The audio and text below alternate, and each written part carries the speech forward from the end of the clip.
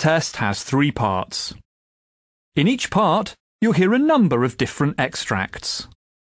At the start of each extract, you'll hear this sound. You'll have time to read the questions before you hear each extract, and you'll hear each extract once only. Complete your answers as you listen. At the end of the test, you'll have two minutes to check your answers. Part A. In this part of the test, you'll hear two different extracts. In each extract, a health professional is talking to a patient. For questions 1 to 24, complete the notes with information you hear. Now look at the notes for extract 1.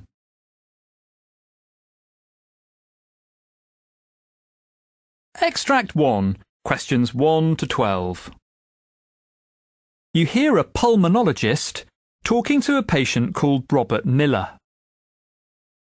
For questions 1 to 12, complete the notes with a word or short phrase. Good morning, Mr. Miller. Now, looking at your notes, I see you've been having a few problems recently. Could you tell me a little about what's been happening in your own words? Well, yeah, it's a combination of things, really. Mm-hmm. To kick off, I feel pretty tired most of the time. Just haven't got the energy I used to have. Right. And I've got this cough. It's there all the time, and it feels dry. I mean, I'm not coughing up phlegm or blood or anything like that. Mhm. But the worst thing, which really bothers me, is that I'm so short of breath. Even if I'm just getting dressed in the morning or going up a few steps, I have to stop because I get breathless so quickly. And I've lost quite a bit of weight, too. I mean, I didn't notice at first because it was very gradual, but all in all, I'm about 10 kilos lighter than I was six months ago. Right. I've not been dieting or anything. I, I love my food. Okay. And, uh, well, have you noticed anything else? Yeah, just take a look at my fingers. Mm. The tips look swollen, don't they? Mm. And it's the same with my toes, which are bulging out at the end, too. It's, it's weird. And my nails, I don't understand it. They've become soft. They're not hard like they used to be. Look. Mm. Okay. I see what you mean. And tell me a little about yourself. Um, what you do for a living. Well, till recently, I worked as a farm laborer. Did it for about 20 years in total. It was hard, physical graft, and it finally got to the stage where I just couldn't cope with it anymore. Right. It really took it out of me. So this last couple of years, I've been a security guard, working nights at a local DIY warehouse. It's a bit boring, and the late shifts took a bit of getting used to, but it's okay. And, um, are you finding it less physically demanding? That's right. I just haven't got the stamina now for anything else. In fact, I've even had to give up my golf. Can't manage it anymore.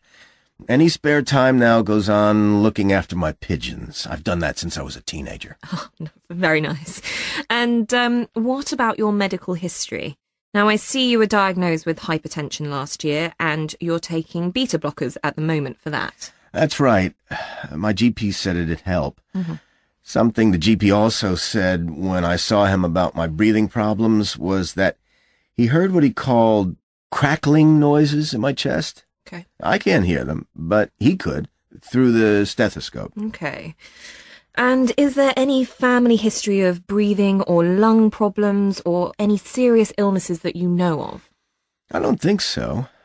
My mother was always healthy, but my dad developed bad eczema as an adult. I remember the red patches on his hands and face, but he didn't have any lung problems as far as I know. Right. And, well, looking at your previous tests, you were diagnosed with hypertension about six months ago. You had. Oh uh, yeah, um, an echocardiogram, Mm, you know, to mhm. check my heart, Yes. and a chest X-ray about four weeks ago after I saw my GP. That came back okay, as far as I know. I see. I'm not keen on hospitals, to be honest. Am I going to need to have lots more tests? Well, I'm going to suggest you have what's called an arterial blood gas test. This will let us check how well your lungs are working, Mhm. how they move oxygen into your blood and remove carbon dioxide from it. Okay. And I'm also going to order a CT scan. Now, this will be more revealing than the chest x ray you had. And I may then prescribe a course of corticosteroids. This will depend on what the tests show up. Now, I'd start you on a relatively low dose and then we'll see how. Extract 2. Questions 13 to 24. You hear an eye specialist talking to a patient called Jasmine Burton, who has recently undergone eye surgery.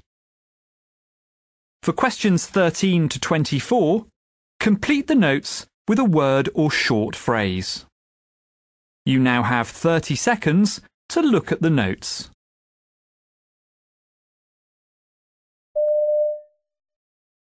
I've got your notes here, Mrs. Burton, but as we're meeting for the first time, could you begin by telling me a little about your eyesight and the treatment you've had over the years?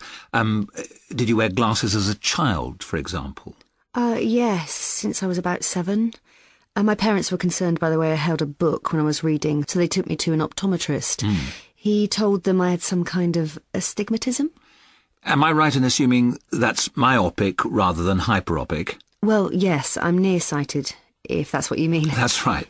Um, some people actually have mixed astigmatism. They're far-sighted in one eye and near in the other. Oh, well, that's not me. Right. And as well as my astigmatism, as you probably noticed, uh, my eyes flicker. Mm-hmm. I'm not aware of it myself, but other people comment on it sometimes. I think you call it nystagmus. Mm. Uh, it meant that when I had my eye surgery, they preferred to use a general rather than a local anaesthetic. OK, so did anyone ever tell you what they thought might have caused the condition? Well, I was once told that my generally poor eyesight is most probably down to the fact that I don't have enough pigment in my eye. Right. On the whole, my eyes have never really caused me any significant difficulties, however. Um, I've always had to wear glasses, so that's part of life now. I suppose the only thing is that driving's always been out of the question. I'd never have passed the sight part of the test. That's probably a good thing because it takes me some time to focus, which could make me pretty dangerous if I was ever behind the wheel of a car. yes, indeed. also, I'm useless at sports like tennis. I think that's because I'm I'm poor at judging the distance between myself and the ball. that was a pain as a teenager, but I've never particularly wanted to play since then. And I've hardly had any issues at work because of my sight. I'm a receptionist in a hotel, and I've never had any difficulty reading computer screens or anything, fortunately. Hmm. Uh, you, you've had your eyes regularly checked throughout your life, presumably. Yeah, that's right, every couple of years. My prescription has changed a little over time, but not that much. Though I certainly couldn't manage without reading glasses these days. Mm. About three years ago, I was told a cataract was developing in my right eye. Right. Uh, it was a few years before they decided to remove it. That was this February, and it all went very smoothly. Good. And you, you were pleased with the result? Yeah, I was, yeah, thrilled. If only all our failing parts could be replaced so easily. However, when I had the routine checkup a couple of weeks after the operation, I was told there was some clouding, uh, opacity. Opacity, yeah. I think was the word they used in the capsule containing the new lens. It's a bit disappointing. They could clear it with a laser if it gets to be a real problem, um, but my flicker makes that rather a risky option. Mm. I knew that there's a greater chance of developing a detached retina after a cataract op. Yes. But I'm glad to say they found there wasn't any evidence of that in my case. Oh, good. All they did was make an appointment for me to be checked out again in six months' time. But they said I should get in touch if I felt concerned about my eyes. And is that what brings you here today? Yeah, because I am bothered about a couple of things. So, firstly, I've noticed more floaters than usual. I don't know if that's something to worry about or not. Um, more annoying is the fact that I'm much more troubled by glare than I used to be, so I wanted to ask your opinion on that. OK. Well, let's start by. Part B. In this part of the test, you'll hear six different extracts. In each extract, you'll hear people talking in a different healthcare setting. For questions 25 to 30, choose the answer A, B, or C which fits best according to what you hear. You'll have time to read each question before you listen. Complete your answers as you listen. Now look at question 25. You hear a nurse briefing a colleague at the end of her shift. Now read the question. Okay, so the next thing is about Susie Williams in bed three. Right. She's been admitted for chest pain to rule out MI. Mm-hmm. So far, she had an EKG, which was okay, and the first set of cardiac enzymes and troponins are negative. Hmm. When she came in, her blood pressure was elevated a little, like 182 over 95. But she was given losartan, and at six o'clock it was 142 over 82. Mm-hmm. She was also dehydrated, so we started her on IV fluids. D5, half normal saline, running at 125 millilitres. That can go until midnight and then it can be disconnected. Mm-hmm. She's scheduled for a stress test tomorrow and some more enzyme tests. Okay? Okay.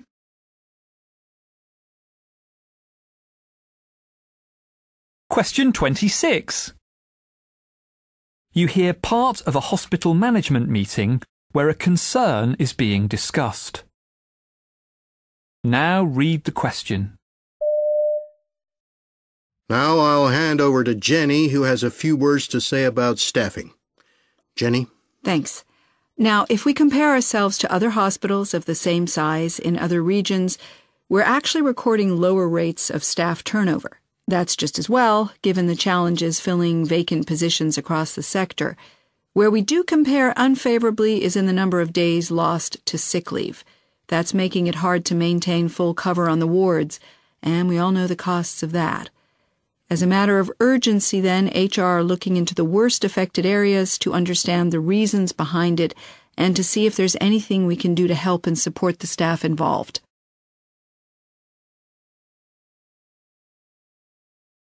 Question 27. You hear a GP and his practice nurse discussing a vaccination program. Now read the question. It's coming up to that time of year when we have to start preparing for the flu vaccination programme.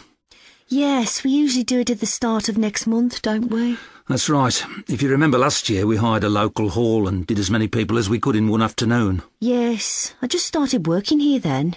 It was a hectic couple of hours, but it worked pretty well, don't you think? Sure, but there's been so much publicity recently about how sensible it is to get the jab that I suspect we'll have a lot more people coming along this year. So we better think about taking on an agency nurse, perhaps, to lend an extra hand. OK, let's run that by the practice manager. And she might have some other suggestions too.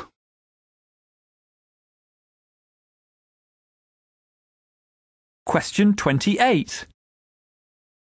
You hear two hospital nurses discussing the assessment of a patient on their ward. Now read the question. The bed manager just rang. He wants us to clear three spaces in the ward today. Oh, it's never ending. Hmm. Let's see what we can do. There's no one ready to be discharged, but we could try chasing referrals for Mr. Davison to the community hospital for rehab. Where are his notes? Yes, but has he had his assessment yet? They were all away at that conference yesterday and the day before. I think he'll have slipped through the net. But Dr. Amat's already got him medically stable and signed off, so he should be the next one to move on. Well, I get him there as quickly as possible before they give the place to somebody else. I'll phone them straight away.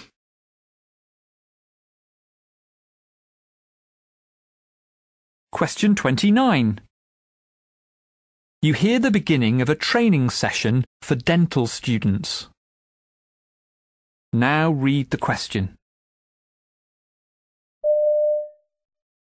This is session number four, which is going to include, again, impression taking. We've created the crown impression of tooth number 30. We also took care of an inlay preparation. So today, we're going to stay on that side with our impression taking.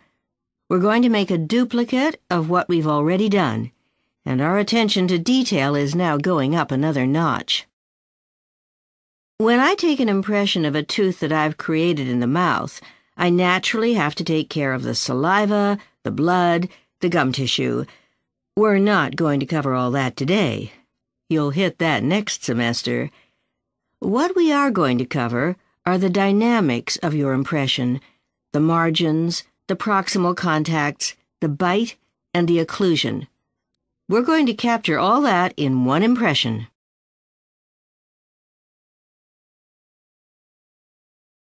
Question 30.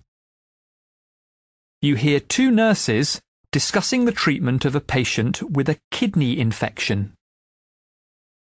Now read the question. I can't see the results of Mr. Roberts' last blood test to check creatinine levels. Did you do the last one? No, not me. Let's see. Ah, here it is. The last test was four hours ago and results show a level of 38, so it's still well below normal. We'd better do one when he wakes up as it might have changed. The patient's not keen on needles though. I had a real job last night trying to convince him it was necessary. Not the easiest of patients, if you're happy to have a go. Okay, my turn, I reckon. Part C. In this part of the test, you'll hear two different extracts. In each extract, you'll hear health professionals talking about aspects of their work. For questions 31 to 42, choose the answer A, B or C which fits best according to what you hear. Complete your answers as you listen. Now look at Extract 1. Extract 1 questions 31 to 36. You hear a geriatrician called Dr. Claire Cox giving a presentation on the subject of end of life care for people with dementia.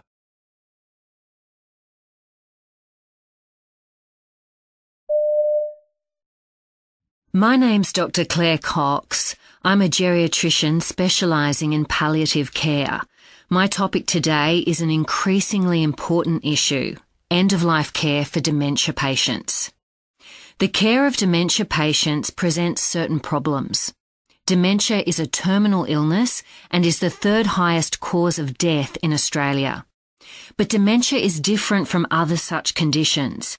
It has an unpredictable trajectory and there can be difficult issues around patients' mental capacity, decision making and communication. But, in spite of an equal need for palliative care services, dementia patients don't always fit the traditional model of such care. Families often suffer distress because they feel unable to ensure that their loved one's wishes are being respected, or just don't know what that person wanted because the discussion wasn't held early enough.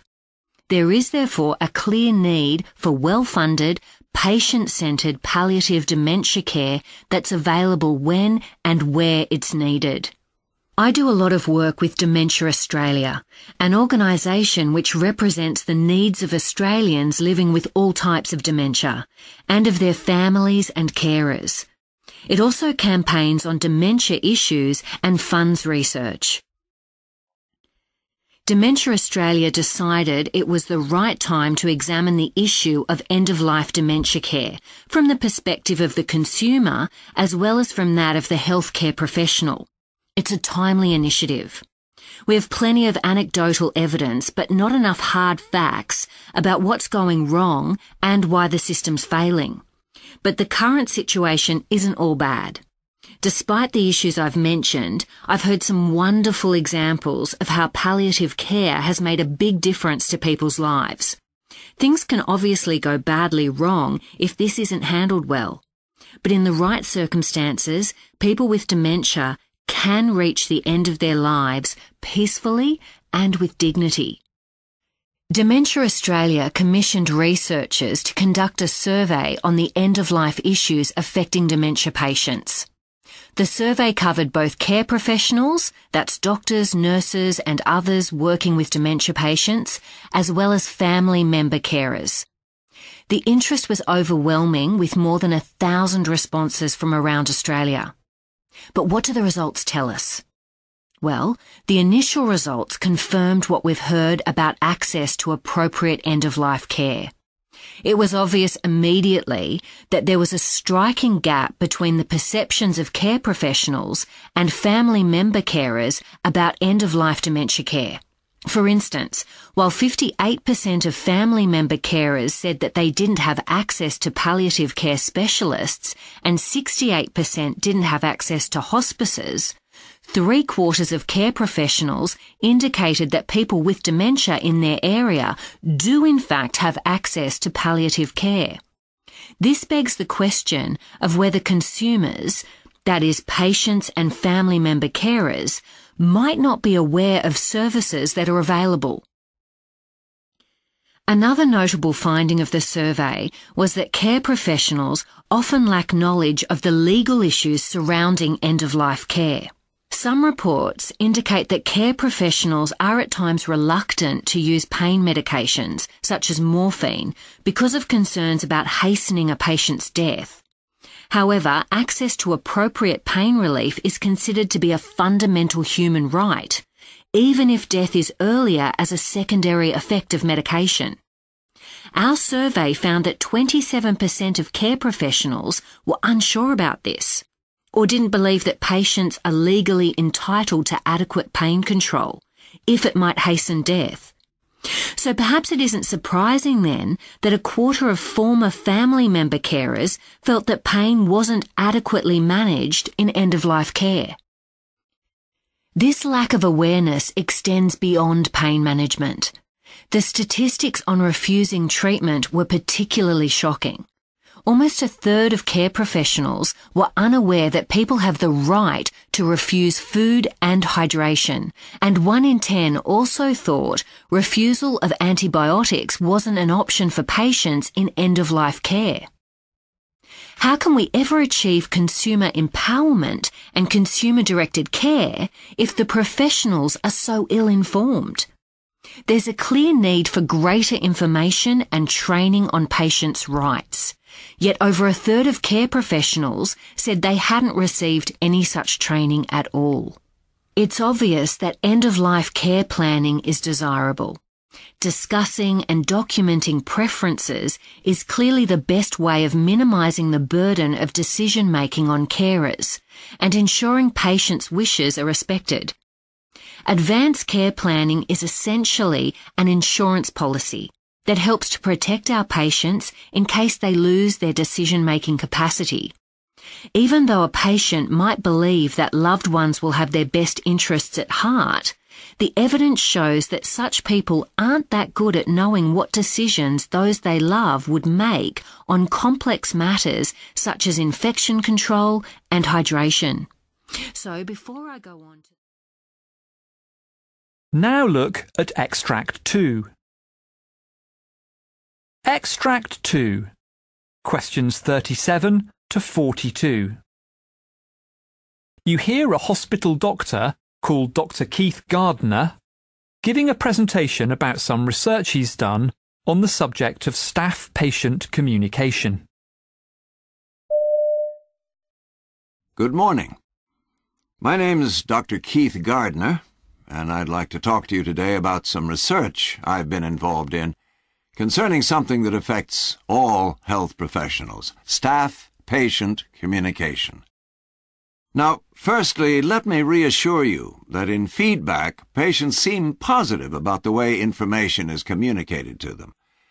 But I recently decided to explore the issue in more detail when I was in a hospital with a patient and witnessed for myself what can result when a healthcare professional assumes they've made themselves clear to a patient, when in fact they've been anything but. Luckily, I've had very few complaints made against members of my team, but the potential is certainly there.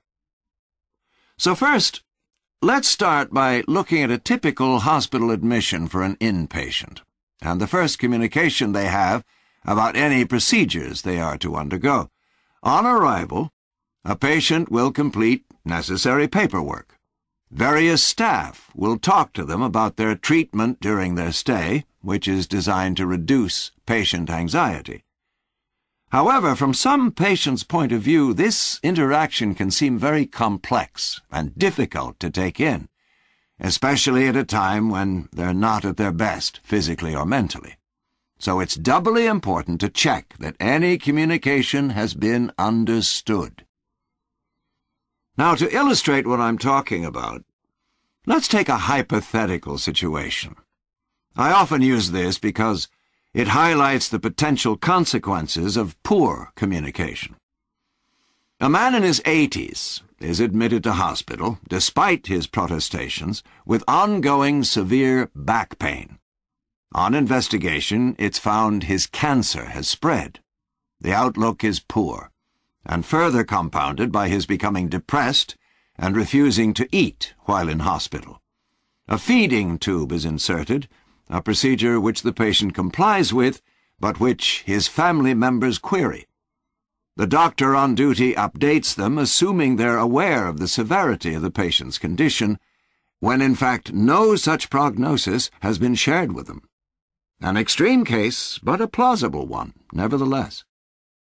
In order to find out exactly what inpatients felt about the service they were receiving in this hospital, we conducted a patient survey the questions were carefully targeted to capture patients' opinions about the effectiveness of the communication they'd been involved in during their stay. The survey questioned patients on both what they had expected prior to admission and what their stay was really like. These two scores were then used to calculate what's called a gap score. The survey also included questions to measure the patient's behavioral intention, that is, how willing they would be to return to the hospital for treatment. Patients completed the survey themselves, and results were then processed with the help of medical students. Now, the survey produced some interesting data about communication, including both praise and complaints. Clearly, in a hospital situation, staff are dealing with confidential and sensitive information, which must be communicated in private a situation which can be difficult to achieve in a large and busy hospital. However, we scored highly on that point, and we were also pleased to note that staff did manage to communicate in a manner that treated patients with dignity and respect. Of course, staff also have to ensure patients fully understand what's been said to them, and this last point's where we received the most negative feedback. Both patients and relatives noted a tendency for professionals to resort to the use of jargon and complex terms when explaining both diagnoses and procedures, which left some patients confused. However, patients were generally satisfied with the information about any follow-up treatment provided after discharge.